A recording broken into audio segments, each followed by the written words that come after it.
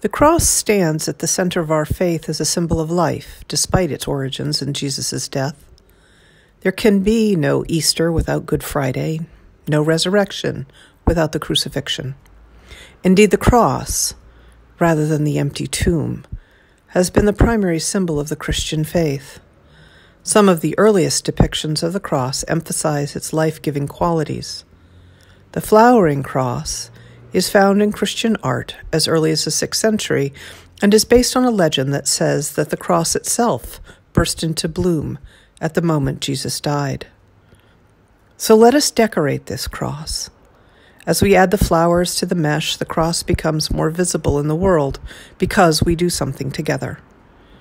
We physically change the cross so that we are a part of the message that Jesus' death is not the end, that because of that, our lives are not limited by death. Behold the resurrection.